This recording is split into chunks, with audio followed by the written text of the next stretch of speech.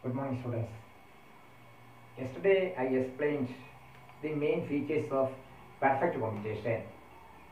I already explained that there are different types of markets, and one category is perfect competition. So today I am going to explain another type of market that is called monopoly. Monopoly. Monopoly really that mono means a single. That letter is derived from a Greek word mono means single. So monopoly. The main what we can see what are the main features of monopoly. What is the nature of demand curve facing under monopoly. So we can see what is total revenue, what is average revenue, what is marginal revenue, what is price, etc. I can see. Firstly, you can see what are the main features of monopoly. First feature is that there is only one seller. Yesterday we saw that the perfect competition under, under perfect competition we already understood that there are large number of buyers and sellers present in the market. But competition will cease to exist when there is only one buyer or producer or seller in the market or when there are large number of if there are large number of producers they are making an agreement about their price so competition will cease to exist or competition will be stopped then there is only one producer or seller in the market we can see what are the main features of this monopoly. First one is that there is only one seller or producer in the market. There is only one seller or producer in the market.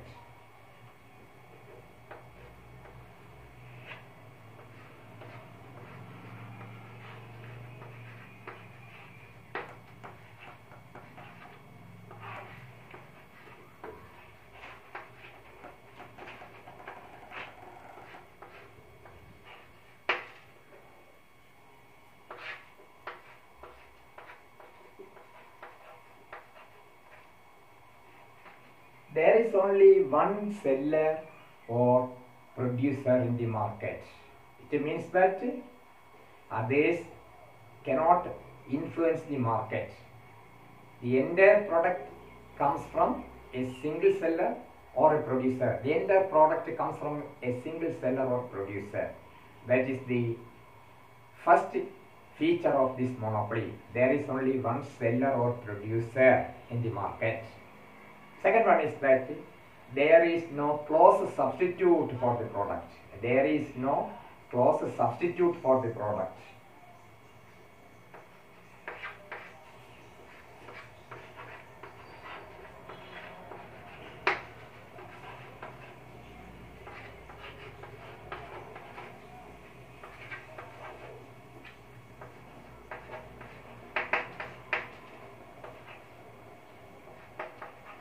there is no close for the product. It means that the entire product comes from a single seller or producer.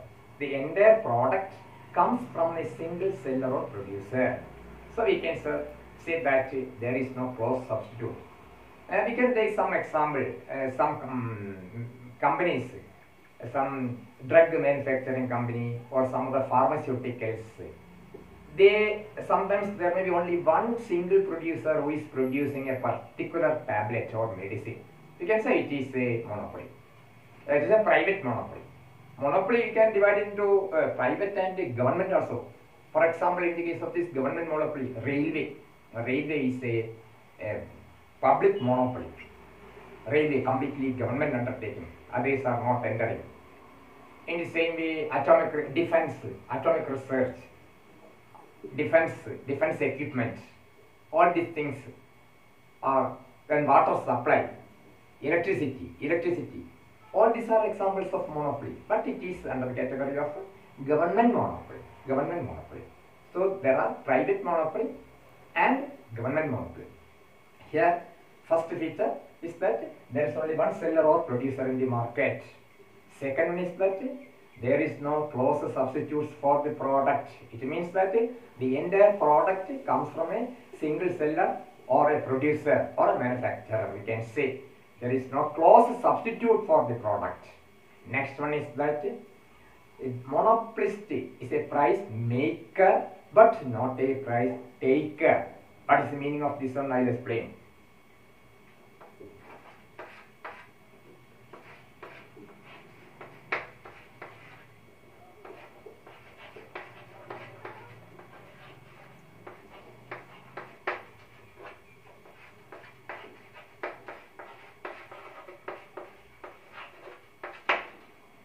That means he is a price maker.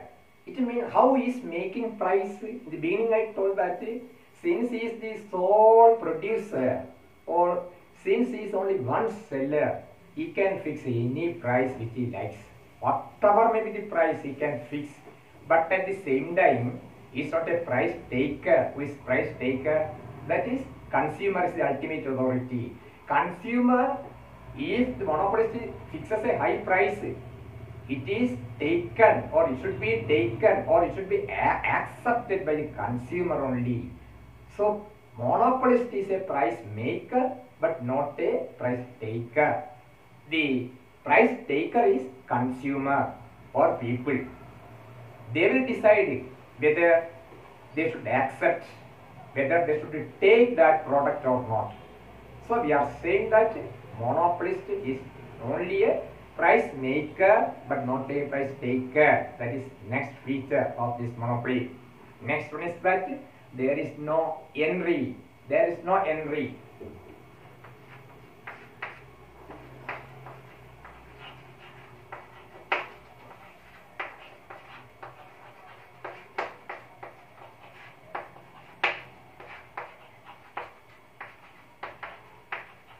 there is no entry in the firm. For example, uh, defense uh, armaments or atomic energy, it is produced by the government only.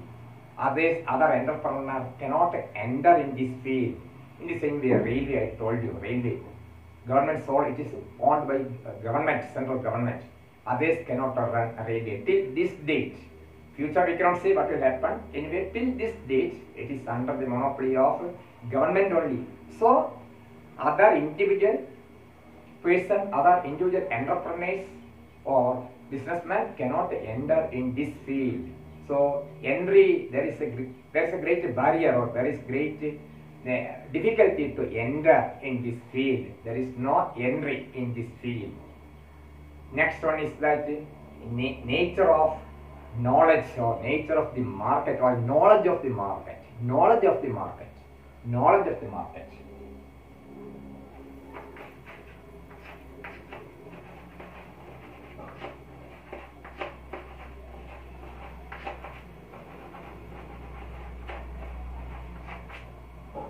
It means that the monopolist is quite aware that at what price he can sell his commodity, what is the nature of market, what is the demand of the market, everything he can understand. So he is quite aware, he is quite aware about the condition of the market, about the price and moreover about the demand of the market. He is quite aware, he has complete knowledge or he has perfect knowledge about the market condition. That is another thing. Next one is that the nature of a demand curve. We can see what is the nature of the demand curve under monopoly.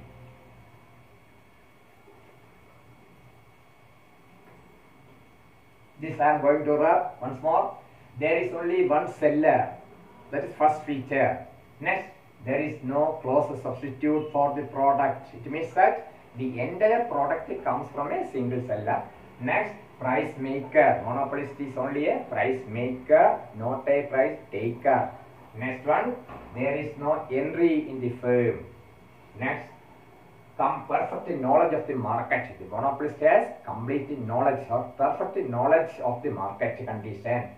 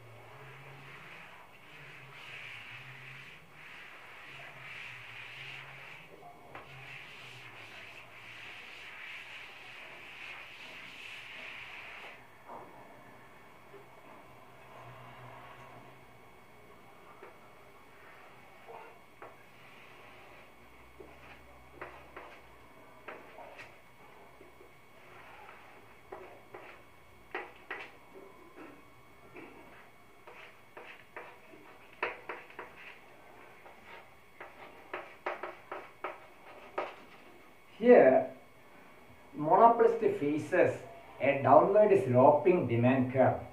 It falls from left to right. The monopolist faces a downward sloping demand curve. It faces from left to right. It is inversely related to price. It is inversely related to price. We can see how it is happening. Here, for example, if the price is OP, the quantity demanded is OQ. When the price falls from OP to OP1, the quantity demanded increases from OQ to OQ1. It shows that when the price is increased, the quantity sold or the quantity demanded is reduced and vice versa. If the price is low, the quantity demanded will be high and vice versa. That's another thing. The monopolist faces a downward sloping demand curve or its average revenue curve is a, or price is downward sloping curve. DD or AR we can say revenue curve. This is revenue curve. So he faces a downward sloping demand curve. That's we saw. But yesterday we saw the another case under perfect competition it is a horizontal line parallel to parallel to OX axis. Yesterday we saw we studied that under perfect competition the AR curve is a horizontal line parallel to OX axis. This is another feature. Downward sloping demand curve. Next one is that there's price discrimination may be happen or uniform. It can make either price discrimination or it can fix a uniform price. Price discrimination or uniform price.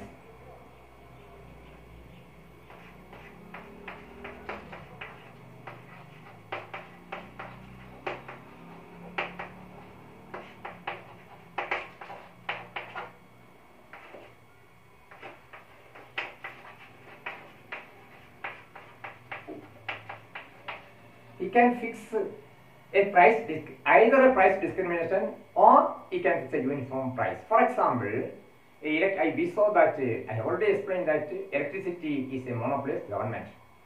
When they are supplying, when they are giving electricity to industrial purpose, they will charge higher rate than the domestic purpose. They may charge a low rate from the people or they may charge a low rate for domestic use. But at the same time, they may charge a high price for industrial purpose or business purpose. So we can see some discrimination there. A higher charge is demanded from business people or for industrial purpose, but at the same time they are charging only lower price from the domestic purpose. We can say that thing. Electricity. For a, for a, as an example, we can say electricity. So discrimination, the monopolist can make either discriminatory price policy or uniform price policy. It depends upon his likes and dislikes. Let's see.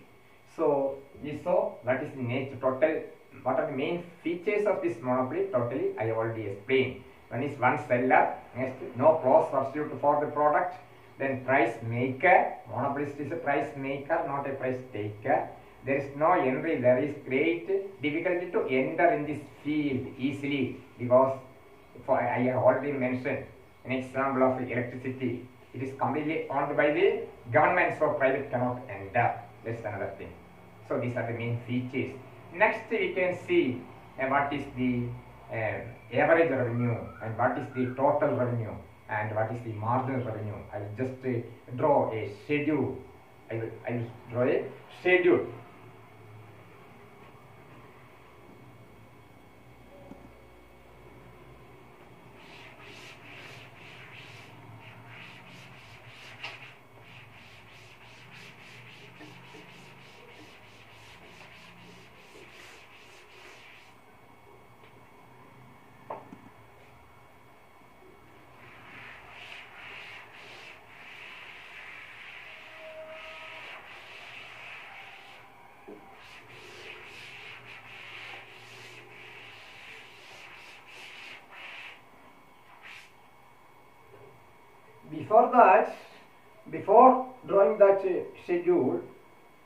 uh, we have to uh, what is market demand and what is individual demand. Individual, individual demand is in, a market there are different individuals.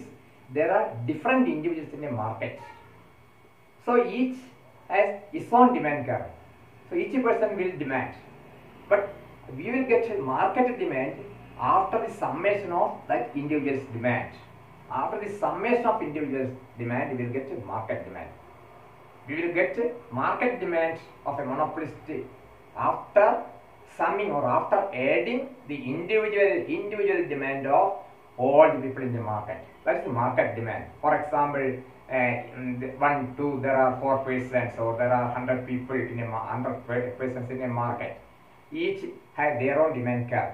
We are adding all their demand, all their demand. After that, we will get a market demand, total demand of the different person. That is called as market demand. Next, I will show you what is total revenue. What is total revenue? What is price? Revenue, yesterday I told you, when a product is sold and when he is getting money by selling a product, it is called as revenue. So we can see what is revenue.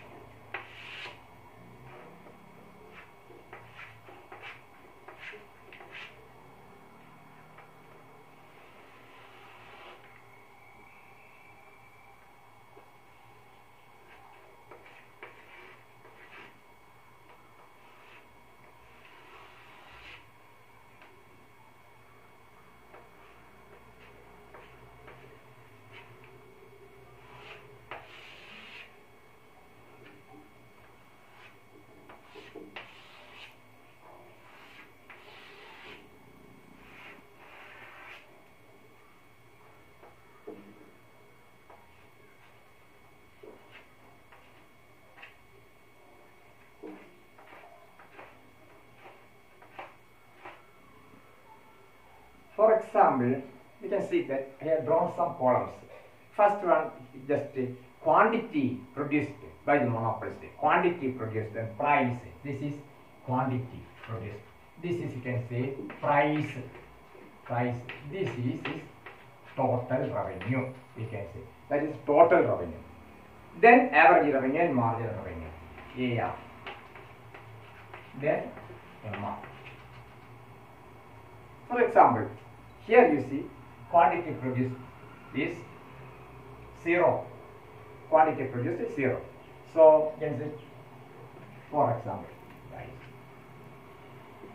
So quantity sold into price that is his total revenue. Quantity sold into quantity sold into price is called total revenue. For example, 10 into 0 is equal to 0 only, 10 units. Then next we can see, he produces 1 unit, 1 unit. At that time, 9.5. His price is 9. He fixes a price at the rate of 9.5 for 1 unit. So, you can say that price into price into quantity. That is his TR. Yeah, total revenue. Here, this 10 into 0, 0. Here we can see 9.5 into 1. 9.5 into 1 unit is equal to 9.5 itself. TR 9.5. Next we can see this is 9. It produces 2 units. 2 E sells 2 units or he produces 2 units. But he fixes a price for rupees 9. So 9 into 2 is equal to 18. Again he fixes or he produces 3 units. 3 units. At that time he sells his product at 8.5. 8.5. He fixes 8.5. So totally we can say this 3 into 8.5 is equal to 25.5. 3 into 8.5, 25.5. Next he fixes 4. at the price of 8 rupees. He produces 4 units at the price of 8. So total revenue will be 4 into 8. 32. 32. Next, he produces 5 units. So he again reduces his price 7.5. 7.7 here. He reduces his price as 7.5. So here comes a 37.5. For example, 7.5 into 5.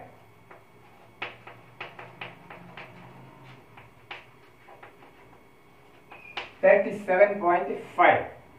So it shows that here we can see average revenue and marginal revenue. Firstly, again I am saying that uh, that is P into Q is total revenue can be calculated by multiplying P into Q. Price into quantity sold. We will get an equation. TR is equal to P into P into Q. P into Q is TR or total revenue. Price per unit into quantity. Price into quantity sold. We should multiply price into quantity sold. So we will get a total revenue. P into Q is equal to TR. Here I will explain that one unit is sold at the price of 9.5. So 9.5 into 1 is equal to 9.5. That's second one you can see. 2 price quantity 2 unit is produced at the price of 9 rupees. 29 is equal to 18. 29 is equal to 18. Next one 3 into 8.5 that is equal to 8.5 into 3 25.5. Next we can see 5 into 7.5 37.5 that is the total revenue total revenue. Next we can see what is the average revenue. Average revenue can be calculated firstly total revenue divided by the number of units produced. Yesterday also we I already explained. Average revenue can be calculated by dividing the total revenue by the number of units produced. Here, here we can see first unit is getting a total revenue of 9.5 rupees. Total revenue is 9.5, but unit of output produced is 1. 9.5 divided by 1 is equal to 9.5 is itself 9.5 that is the average revenue. Total revenue divided by number of units produced is called the average revenue 9.5 you will get. Second case you can take second case you can take here. Total revenue is 18 rupees. The unit number of units produced is 2 so how we can calculate total revenue divided by number of units produced 18 divided by 2 is equal to 9 18 divided by 2 is equal to 9 9 rupees. Next 25.5 that's next one total revenue 25.5 divided by 3 25.5 divided by 25.5 divided by 3 is equal to 8.5 8.5 you will get. 8.5 next here you see 32 rupees. Total revenue 32 number of units produced is 4 so how we can calculate it? 32 divided by 4 is equal to 32 divided by 4 is equal to 8 8 rupees. 8 rupees. That also you saw. Next we can see 37.5 is here. 37.5 divided by 5 37.5 divided by 5 7.5 you will get 7.5 so up to this I have already explained. Again up to this point. First 9.5 9.5 is the price. Price 9.5 so total revenue 9.5 into 1 9.5 into 1 9.5 next can see 9 rupees 9 into 2 18 next 8.5 into 3 25.5 8 into 4 32 7.5 5 so here average revenue. How we will we can calculate average revenue? How we will calculate average revenue? Average revenue can can be calculated by dividing the total revenue.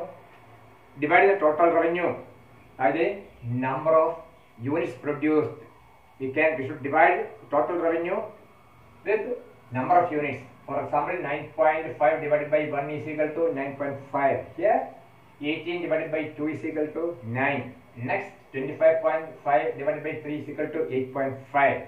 Next, 32 divided by 4 is equal to 8. Next, 37.5 is equal to 7.5. That is the average revenue. Average revenue, average revenue, total revenue, then price. Uh, you understood up to this point, up to this unit. Next, you can see marginal revenue. What is marginal revenue? Marginal revenue is the addition to total revenue. Understood? Addition to total revenue is called as marginal revenue. Yesterday I told you, addition to total revenue. For example, here, 9.5 is first, 9.5 is first. But second unit, you can see, second unit, what is it? Uh, what is the addition? Addition to total revenue. What is the addition to total revenue? That is called as this marginal revenue. Understood? Addition to total revenue. Here, uh, uh, we saw that um, addition to total revenue is first firstly you can see that again TR firstly 9.5 second 18 9.5 TSO then total addition to total revenue we can see what is it? What is the difference between these two? That means 8.5 8.5 is here. 8.5 8.5 is here. Next here 7.5 difference between the two. 7.5 next next one is 6.5 6.5 is another difference.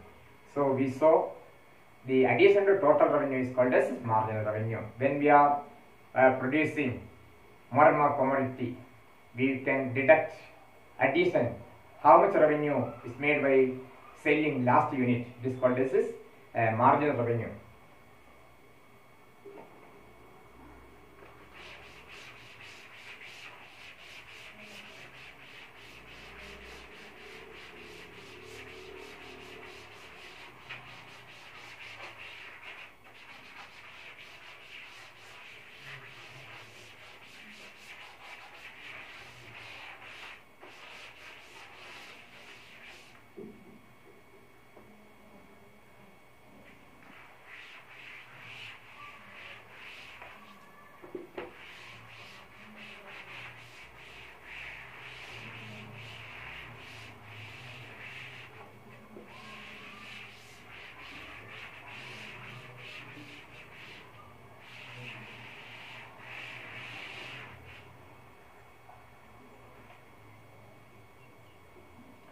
you can see uh, what is the curve of this demand curve you can see? You can draw these things with the help of a diagram. Total revenue marginal revenue and average revenue. You can see you can see with the help of a diagram.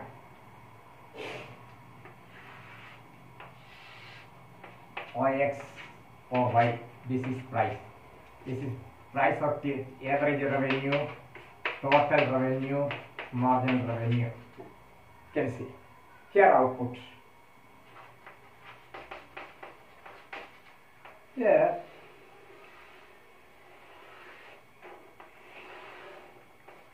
For example I told you this is only an example.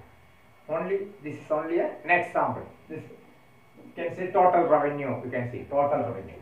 This card is total revenue represents y we have taken the y axis we have taken output and in y axis we are seeing uh, TR total revenue, average revenue, and marginal revenue. Here, this total revenue curve, you know, it is an upward up to this uh, uh, 10th, 10 unit. Here, I have shown that chart diagram. I have shown that schedule. Schedule I have shown you. I have explained. Even though it is increasing, but gradually after 10 unit, is an example only. After 10 unit, it is declining trend. Total revenue is declining. It is called an inverted vertical parabola. It is, we can say that it is inverted vertical parabola. It is called, it is called as, or that equation is called as inverted vertical parabola.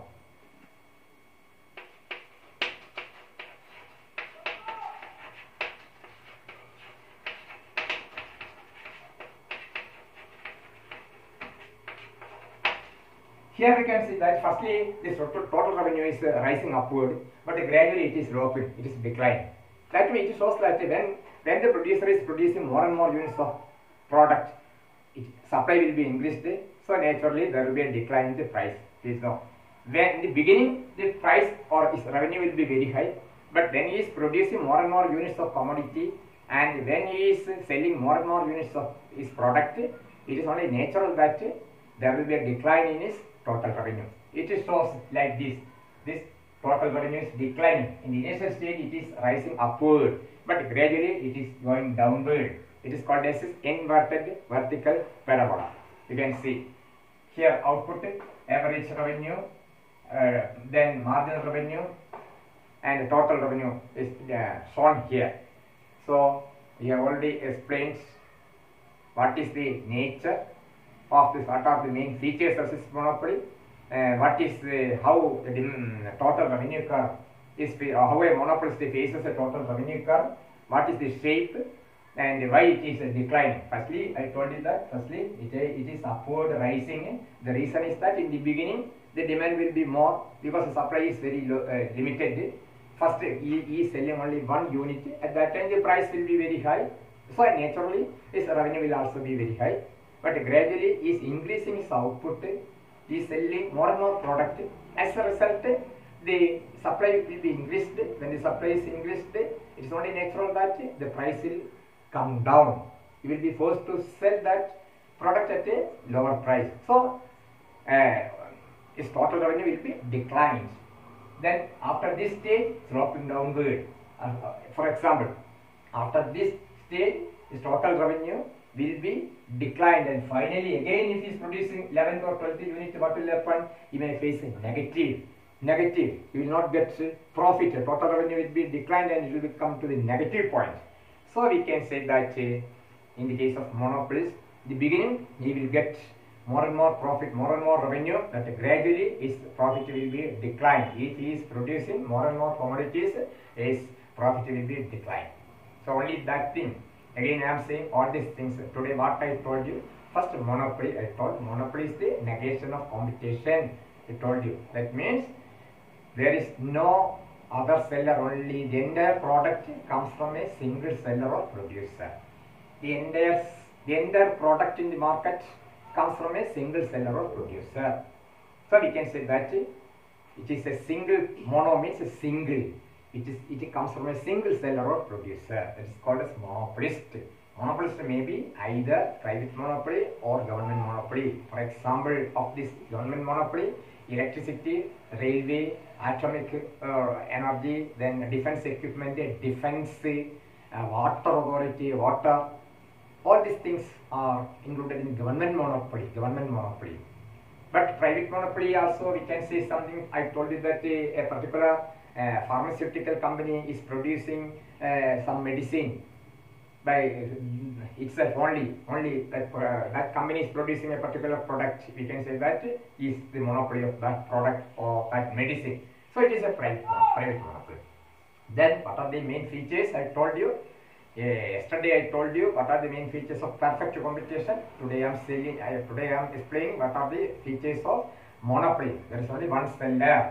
There is only one seller. No other alternative. Only single seller or producer in the market.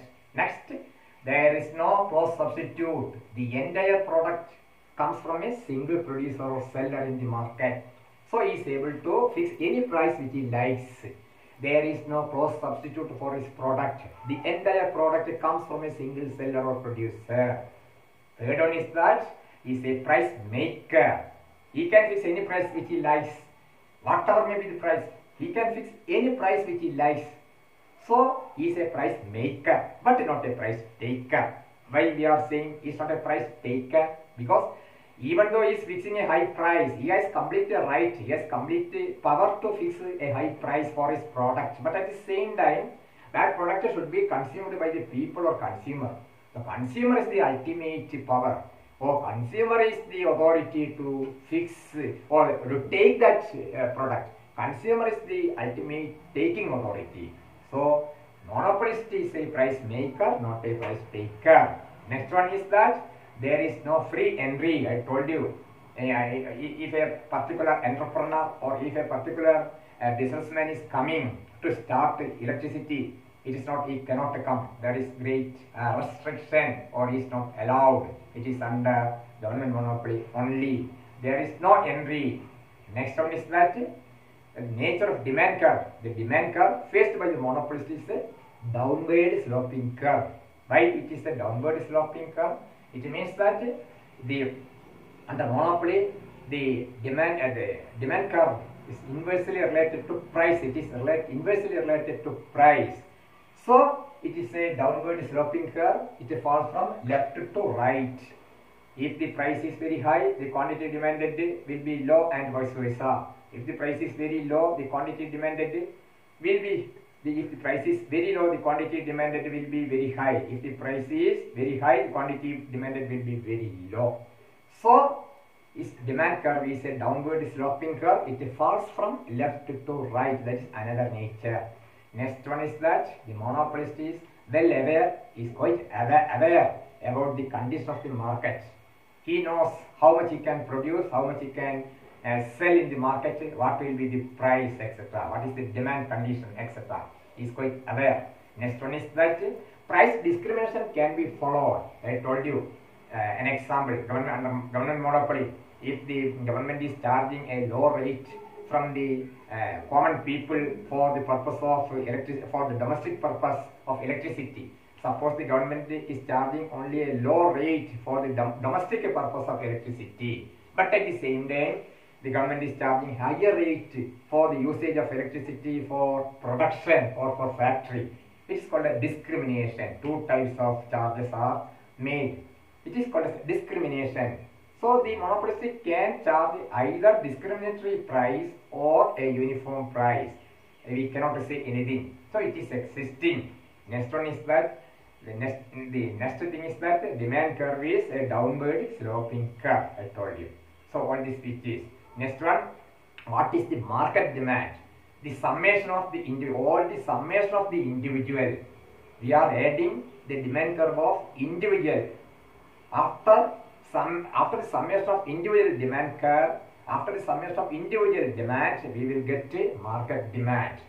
We can get a market demand only after the summation of individual demand. That is the uh, nature of this monopoly. Next, next last one, I told you that we can. I have already drawn a schedule in the market, uh, schedule of uh, total revenue, average revenue, and uh, marginal revenue. Based on that thing, I have already drawn a graph here. Total revenue curve is this. It is firstly it is upward rising curve, then gradually it is declining downward sloping curve.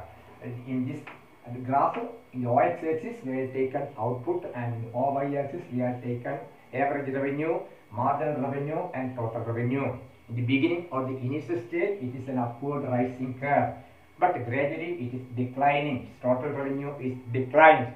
The reason is that when the production is increased, when the output is increased, you will not get high profit. Is uh, revenue will be declined. So monopoly main features, everything I have already explained. Uh, so this uh, monopoly uh, chapter it is already finished. You will get notes after a few days. If you have if you have any doubt, you can make comments. So I'm finishing. Uh, thank you very much. Please don't forget to subscribe. Thank you.